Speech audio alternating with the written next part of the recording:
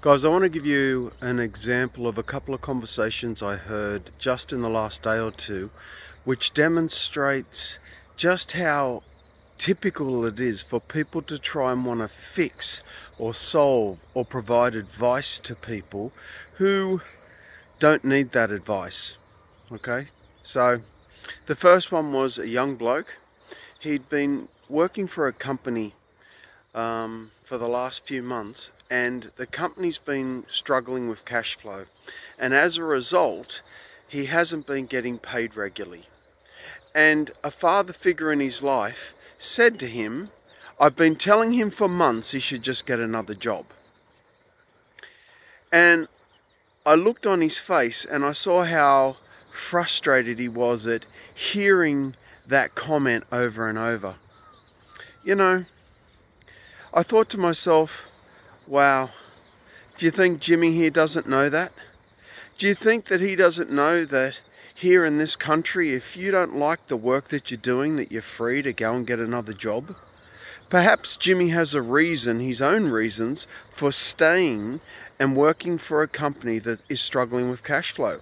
I don't know what they are, and it wouldn't be my choice, but it's not my place to tell Jimmy the bleeding obvious. That is, just go and get another job. Instead, Jimmy needs to hear some empathy. He needs to hear some understanding. He needs to hear that it's so frustrating to work hard all week and have no money in your pocket.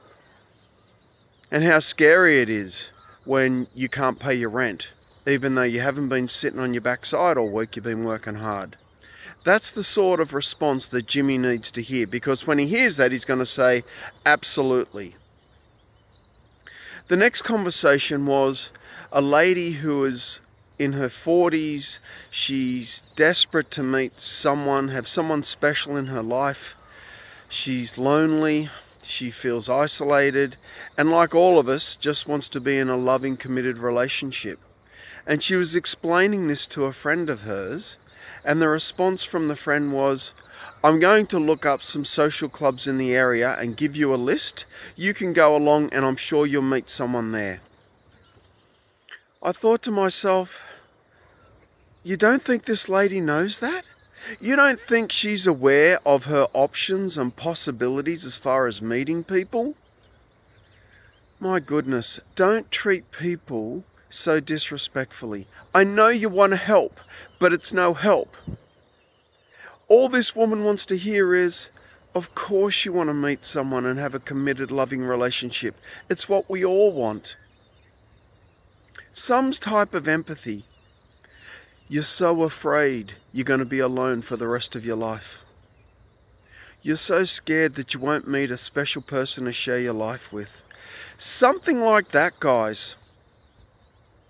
As I said, I know you're trying to help but it's not helpful. And I want to ask yourself have you ever had a situation where you were really worried about something and someone offered you advice that you knew already? You didn't need to hear that.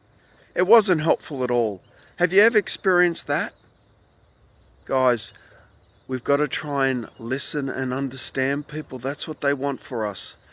Stop trying to fix their problems. Stop trying to give them advice that they're already aware of and just try and be a real friend who understands what, what someone's going through. Okay. God bless.